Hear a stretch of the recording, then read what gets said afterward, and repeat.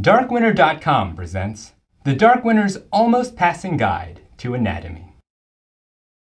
If you can draw this diagram, you theoretically understand the arteries here in the shoulder region. You can brute force it into your memory, or you can learn these three mnemonics. Let's first talk about the main branches directly off the axillary artery. This is the artery that comes from the heart to the hand, from the heart to the hand. The axillary artery gives off six branches, remembered with the mnemonic 60s teens love sex and pot, or 60s teens love sex and pot. The initial letter of each word reminds you of the first letter of each anatomical term in the order it comes off the axillary artery. 60s teens love sex and pot. Supreme thoracic artery, thoracoacromial trunk, lateral thoracic artery, subscapular trunk, anterior humeral circumflex artery, posterior humeral circumflex artery. Now that you know the names in order, you draw the branches directly off the axillary artery. The axillary artery gives off 60s teens love sex and pot. 60s teens love sex and pot. Or supreme thoracic artery, thoracoacromial trunk, lateral thoracic artery, subscapular trunk, anterior humeral circumflex artery, posterior humeral circumflex artery.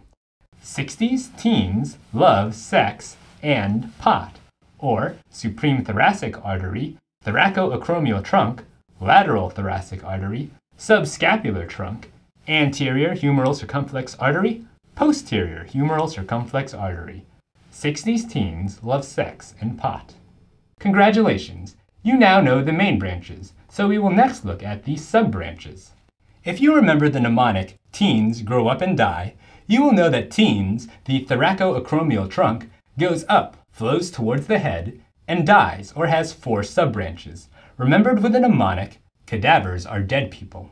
Cadavers, clavicular branch, are acromial branch, dead, deltoid branch, people, pectoral branch. Good job! You've got the first two parts, so just one more sub-branch to go. Remember that when you have sex with someone, you go down on them, and it's a big deal.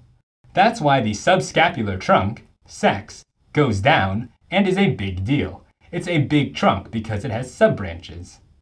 At the end of sex, there is a sexually transmitted disease, or STD.